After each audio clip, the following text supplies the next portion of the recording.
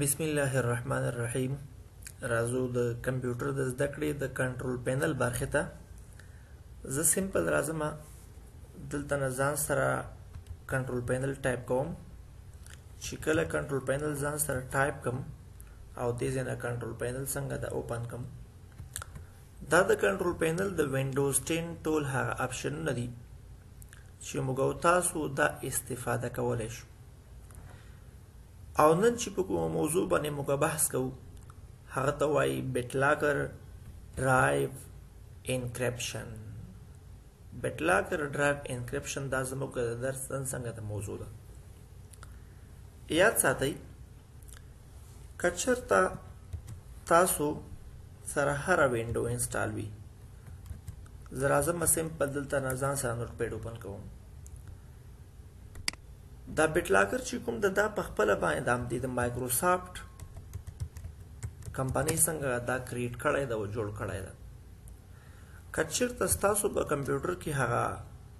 ویستا وینډوز څنګه وی انسټال وی که چېرته ستاسو په کمپیوټر کې د ویسټا وینډو نه پرته نورې چې کومه هغه وینډوزګانې دي هغه څنګه وي انسټال وي یعنی معنا دا ده که چېرته وینډوز 7 وي وینډوز 7 وي یا هم وینډوز 8 وي او یا هم څنګه ده وینډوز 10 وي چې کرنټ دا اوس کومه وینډوز کې زه کار کوم دا وینډوز 10 ده په دې ټولو کې چې کوم ده دا بیټلاکر ډرایو انکریپشن چې کوم ده دا اویلیبل ده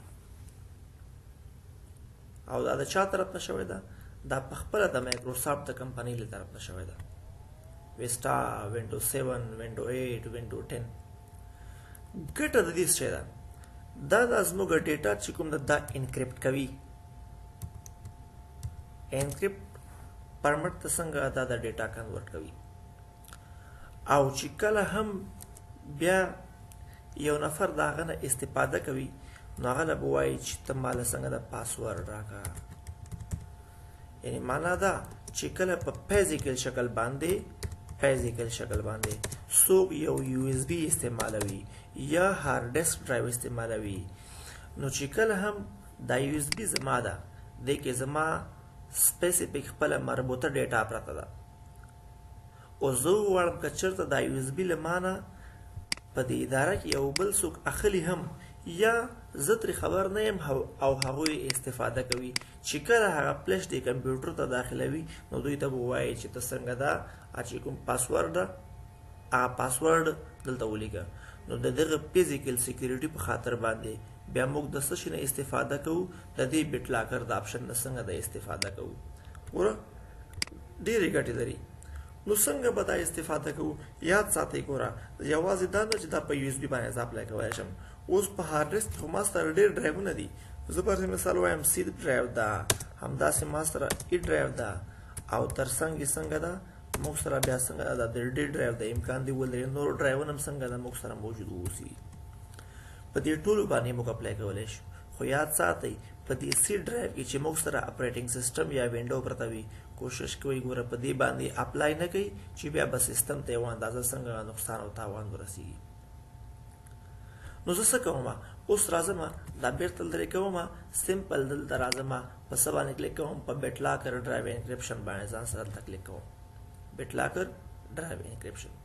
تاسو ته ښکاري ګوره ډایرکټ دلته چاوي غوندې شکل ورکړی دی هغه آیکن نه معلومیږي چې کله زه دلته کلیک وکم نو ما له ګوره دلته بیا وایي چې کوم ډرایو ته غواړې په هغې باندې څنګه دا دا بیټ لاکر آن کې دا لومړی چې کوم ته ګوره ما ته وایي چې دا څنګه د آف ده یعنې سی ده دې کې وینډوز څنګه ده پرته ده تر څنګ یې دا ما سره د ډي ډرایو ده او تر څنګ یې دا ما سره څنګه ده دا د ای ډرایو ده مختلف قسمه ډرایوونه په کمپیوټر کې موږ سره موجود وي که زه غواړم چې په دې ډي ډرایو باندې چرته ځان سره دغه بیټ لاکر آن کم نو دلته کلیک کوم چې کله په دې کلیک کوم بیا مال وای ټرن آن بیټ لاکر نه نه زه وایم په دې باندې دا نه آن کوم زه د څه کوم زه راځم دلته نه ځان سره فلش یا یو اس بي ما سره موجوده ده دا یو اس بي راخلم او د کمپیوټر د څنګه د ځای داخلوم نو چې کله پلس داخل شي دلته به یو ډرایو اضافه شي ښکاري که جی دا هغه د یو اس بي ډرایو ده چې اوس څنګه شو موږ سره دلته اضافه شو که زه وغواړم چې په همدې باندې ځان سره اوس دلته دا بیټ لاکر څنګه دا آن کما نو څه کوم دې ځای نه هم کلیک کولی شم او که دې ځای نه نه وي بیا سمپل راځم دا هغه شی ښکاري دلته نه هم څنګه ځان سره زه کلیک کولی شم بهرحال کار د ټول یو څیز ده نو زه راځم څه کوم په ټرن آن بیټ لاکر باندې کلیک کوم نو چې کله په ټرن آن بیټ لاکر باندې کلیک وکم نو ګوره مالا وایي چې پلیز ویټ وایل بیټ لاکر انیشلایز نو امغه لګ اندازه ټایم څنګه دا ونیو اوس چې زه راځم دې د بس پاسورډ ورکوم نو د پاسورډ لپاره به زه بیا څه کوم دا چک چې کوم تاسو ته دلته ښکاري یوز ا پاسورډ ټو انلاک د ډرایو ټو انلاک د ډرایو که سباله بیا دا یو ایس بی زه کمپیوټر له داخله وم نو بیا به ماله دا پاسورډ غواړي چې دا پاسورډ ته تکرار کا تر څو ګوري دا یو ایس بی څنګه دا, دا انلاک شي لومړی پاسورډ بل ته ورکي چې هر څه پاسورډ تاسو خوخه ده زه وایم دا پاسورډ څنګه د ما دلته ځان سره ټایپ کړو همداسې راځم دا پاسورډ څنګه دې ځای کې ځان سره ټایپ کوم نو اوس بس کوم لدې وروسته په ټول له ټولو نه په اخره برخه کې بیا څه موږ سره موجود دي د نیکسټ څنګه د هغه آپشن موږ سره موجوده ده کله چې دا د نیکسټ په آپشن باندې موږ کلیک وکړو بیا به په دې ځای کې موږ له څه وایي دا به ټایم نیسي امکان دی ولري یو اندازه وخت څنګه ده ونیسي سیمپل په همدغې طریقې باندې دغه یو اس بي ته څنګه ده پاسورډ ورکول کیږي یو ډرایو ته پاسورډ ورکول کیږي او بیا چې کله ګوره دا کار موږ و هم کو زه راځم په اصلاح باندې دا پاسورډ بالکل دې ځای نه بیرته ختموم ختم شو پاسورډ اوس سمپل راځم دلته نه ځان سره د نیکسټ آپشن ګوره موږ سره اوس کار نه کوي زه راځم دا د نیکسټ آپشن باندې دلته کلیک کوم نو چې کله ما له ګوره وایي پاسورډ به څنګه دلته انټر کوي چې پاسورډ کله انټر کې له هغې وروسته به بیا موږ له وایي چې د دې ریکوري کی راځي تاسو کولی شئ چې د دې